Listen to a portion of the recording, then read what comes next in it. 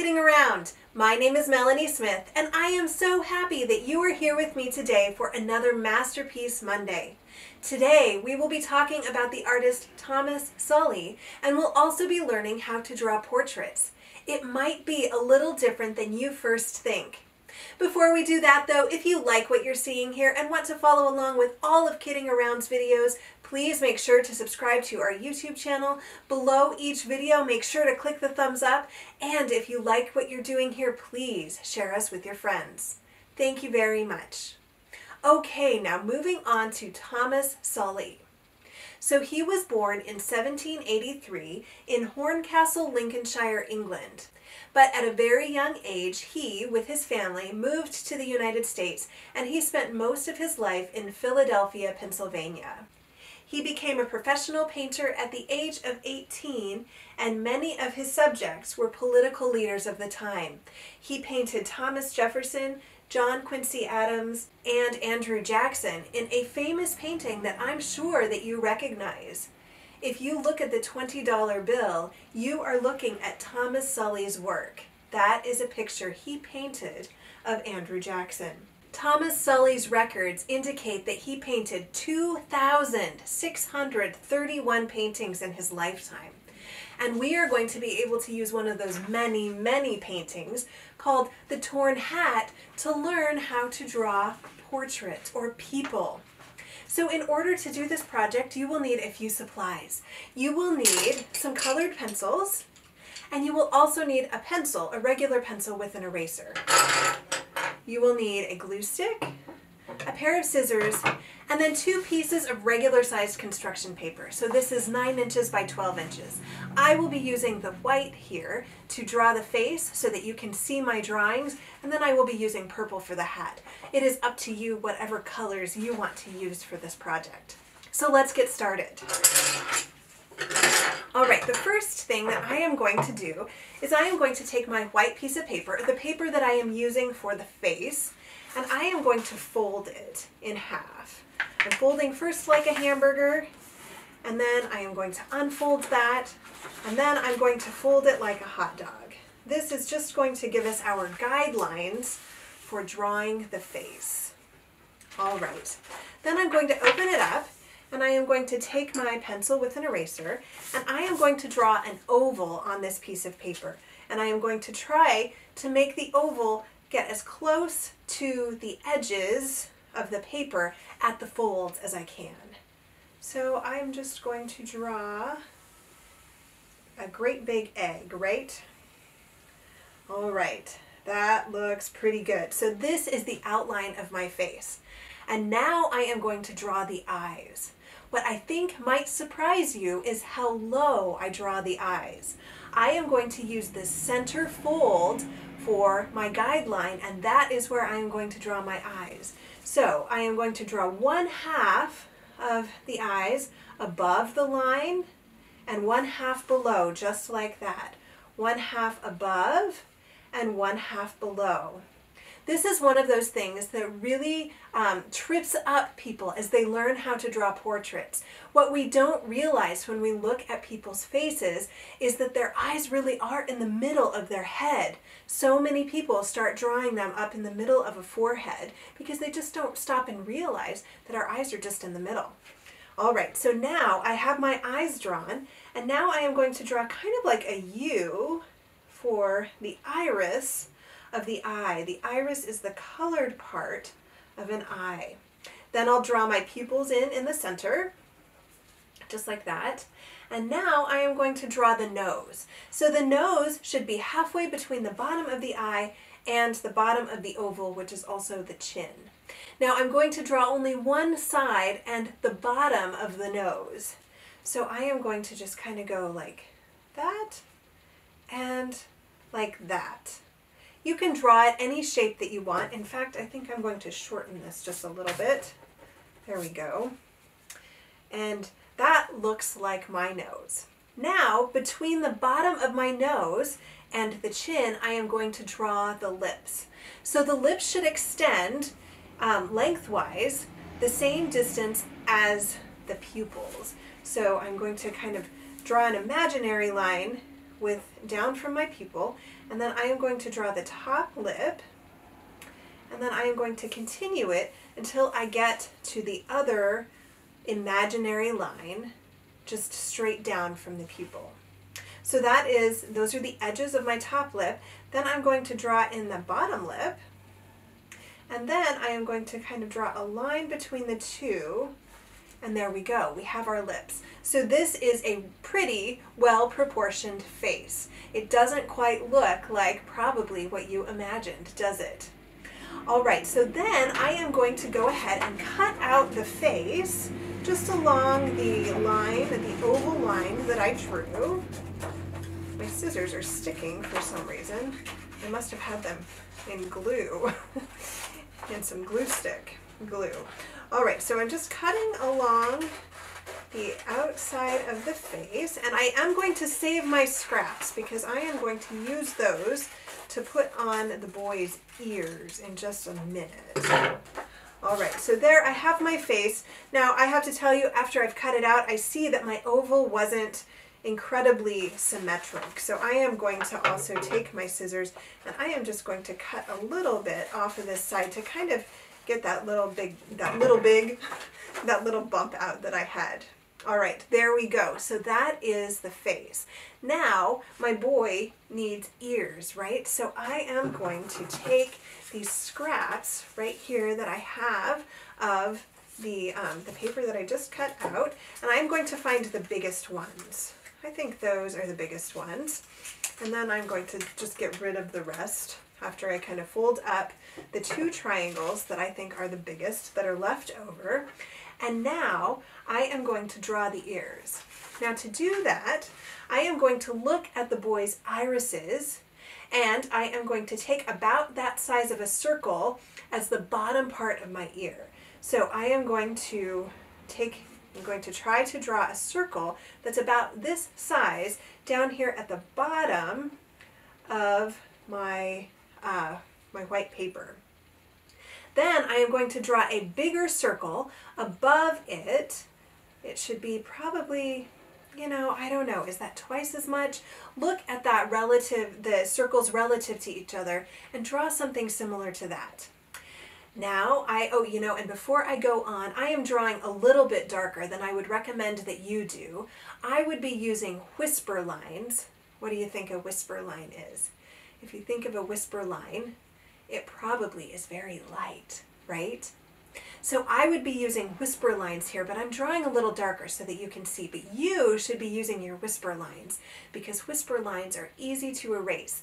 These are guidelines. You will be drawing darker lines in here too, but you're just going to be using these circles as guidelines. So whisper line circles, and then a whisper line connection point, and a whisper line connection point here too. Do you see how that already kind of looks like an ear? Okay, now, still with whisper lines, we're going to draw a circle inside the big circle and a circle right kind of between your biggest circle and that first circle that you drew. Still whisper lines. Okay, now, still whisper lines, we're going to connect those two circles that you just drew. All right, now, not using whisper lines, you get to kind of get loose and draw in what an ear actually looks like. You can look in a mirror at your ear for help, or you can look at a parent's ear or a sibling's ear or someone around you's ear. If there's no one around you that will let you use their ear as a model, you can go to um, an image search and look up ears online. All right, so now you're going to kind of draw in the details of the ear. So the way that I kind of do that is I kind of draw this I don't know what it looks like. Kind of like a bean with a hump or the top of a heart with a really long line attached. I don't know.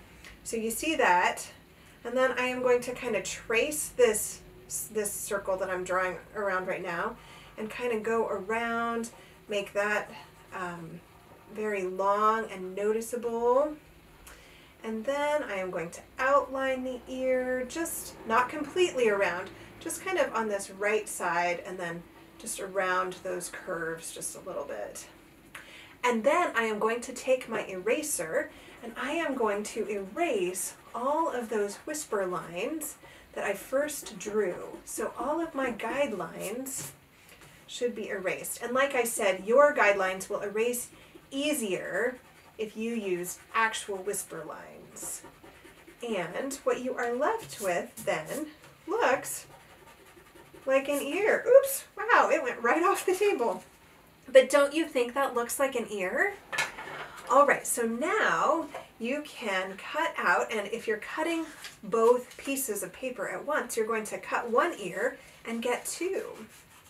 All right, so I'm cutting out where that first guideline was so that I know the edge of my ear. And look, now I have two ears. So I am going to take the bottom ear that I haven't drawn on and I am going to flip it over and then I am going to reverse the lines that I just drew and do it again on this one. So you can use your guidelines again. You can draw your circles and your lines if you would like, or if you can use this just as a guide, you can just draw them in without the guidelines. It's up to you. It's your call because, like I say so many times, it is your art. All right, so I'm just continuing around here, just kind of at the edge. That outlining is a little hard, but there we go. And I have my boy's two ears. Once I have his two ears, I can go ahead and glue them on. And I'm going to look here at my reference point. You kind of see that the ears go kind of in the middle of the eyes. So that's where I am going to glue my boy's ears on. So just a little bit of glue and I'll stick them right there next to, well not next to his eyes, but in line with his eyes, right? Okay. I think that if you look at that, you will notice that he looks relatively human, right? Even though his eyes are in the middle of his head, or maybe because his eyes are in the middle of his head, he's starting to look rather realistic. All right, then you get to draw in the hair. So the way that I drew in this hair was I just looked at the original and I kind of eyeballed it and drew it similarly to Thomas Sully's. So I just kind of started, um, I took my pencil and I just kind of started drawing some triangles because that kind of looks like bangs it doesn't look like the boy has like just brushed his hair. Maybe he's been out playing a little bit and so his hair is a little bit disheveled maybe, not in a bad way, but just kind of a little bit unkempt. All right, so I drew across his forehead. So these this will be kind of his bang area. And then I'm also going to draw down, here I'm going to move, let me show you this. I'm going to move the hat and I'm also going to draw down here and kind of give him a couple sideburns. So using this for reference, I'm going to just kind of draw a, hmm, a semicircle or a curved line here, and then I'll kind of go up, and there we go. And then I will do the same thing over on this side, draw kind of a curved line, and then straight, and then kind of up to give him those sideburns. All right, and then once you have that done, you can color in his hair and his sideburns. And of course, if you are doing this at home, you can use whatever color you would like. I'm kind of trying to go along with Thomas Sully's work, kind of trying to replicate it, not directly of course, but just kind of trying to use it as my reference. But of course, you can do whatever you want. You could make this a self-portrait if you wanted. You could make the boy a girl. You could give him or her blonde hair or black hair, any kind, purple hair if you wanted, right? Your art, which is so cool because you get to do whatever you want, whatever makes your heart sing, because art should definitely make your heart sing when you do it. All right, I am not taking the most care as I color this because I'm trying to go quickly but I am trying to at least get my strokes going the same way. Coloring seems to look better when you go the same way with your strokes. Do remember that if you are putting a hat on your boy or your girl, a lot of this hair won't be seen. So um, you don't necessarily have to completely cover the head where the hat will be, but I will at least give it just a little bit of color. going the same way. All right, look, I'm almost done. There we go. Color in that last sideburn. And there we go. We have our boy. All right, so now I am going to draw and cut his hat. So this is where artistic license truly comes in. So you get to decide which way you want his hat to be or her hat to be. Do you want it straight on top of the head? Do you want it kind of cocked jauntily? Do you want a pointed hat? You could do a pointed hat. I'm still going to stick with Thomas Sully's shape, or at least mostly stick with the shape. And so the way that I am going to draw the hat so that I know that I have the right size is I am going to actually put the paper that I'm using for my hat right on top of my boy. And then I am going to use, I think maybe I'll actually use Thomas Sully's art here for reference. And I am going to see that it comes out here a little bit past his head. So as much as I can, I am going to make his hat come out a little past his head. And I know this is probably hard for you to see. What I want you to know though is that there are no lines here that can't be drawn over. So I am going to just kind of keep drawing until I find a shape that I am happy with. And I, you know, erasers were made for reasons. You can erase if you decide you don't like the shape. You can redraw. You know what? You can even flip the paper over if you decide that whatever you drew was not exactly what you were envisioning. I hope that you can see that. That kind of looks like a top hat. I know his doesn't really look like a top hat, but it's still kind of the same shape if you look at it shape-wise. So I just drew it the way that I felt would be kind of reminiscent of Thomas Sully's drawing, and now I'm going to cut it out.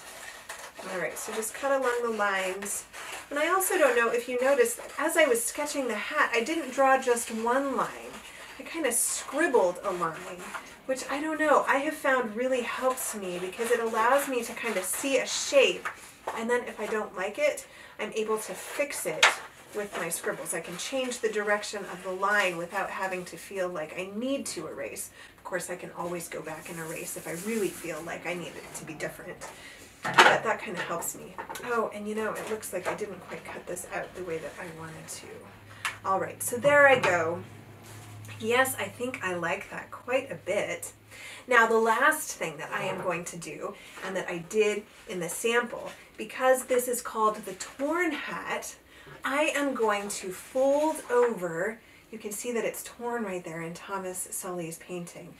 So I am going to fold over my hat just a little bit and then I think on that fold, I am going to kind of put a cut there, just a little hole to kind of start my tear.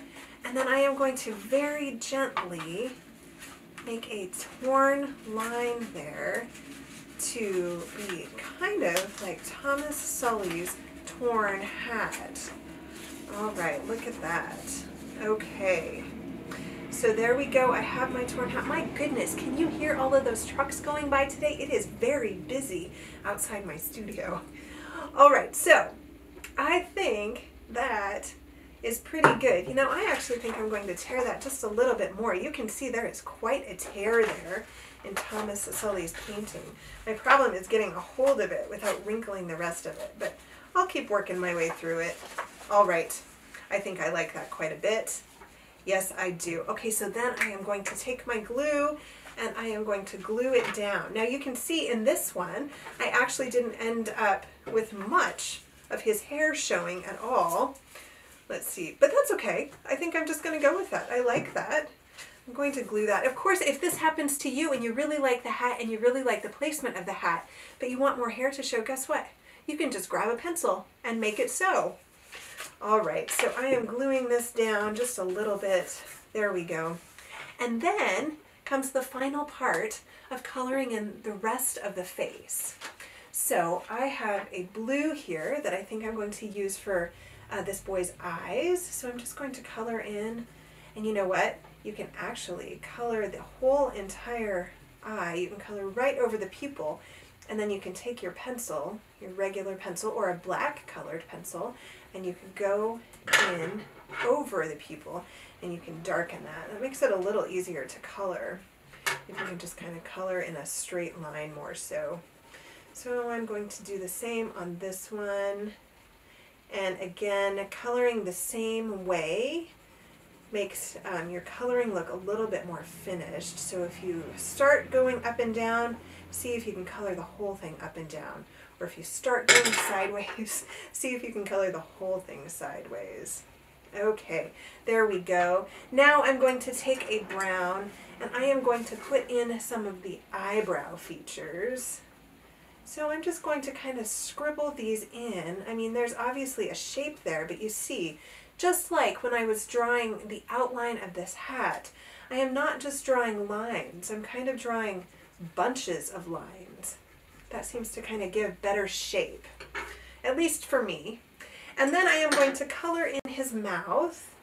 So I just, I have a red here and I am just going to color this in. The really cool thing, the reason that I love coloring with colored pencils is because they don't give a solid color at the end, which I think allows for a more natural look. You know, if you look at your lips in a mirror, you will see that they are not all the same color. That is one of the great things about art, as you learn about art, is that even though we see things as shapes, solid shapes and solid colors, they actually aren't. If you break them down, as you draw and color them, you will find that there is much more variety and variation than we initially think. I have a little bit of pink here. I'm going to just add a little bit of pink here in his lips too. And you can work on this all day. You can color this however you want. You can change it up. I would love to see your finished boys with torn hats or girls with torn hats or boys or girls with non-torn hats. If you have um, if you have a grown-up take a picture, they can post those on our Facebook site. I can't wait to see what you are coming up with, and I can't wait to see your great portraits with the knowledge that our eyes are in the middle of our heads. Well, thank you so much for joining me today and learning about portraits and learning about Thomas Sully. I hope that you have had as much fun as I have. I'm hopeful that I will see you on Wednesday. We have another fun, fun Wanderlust Wednesday lesson planned. I would love to travel with you. Thank you so much for joining me today. Thank you so much for kidding around with me. I will see you next time.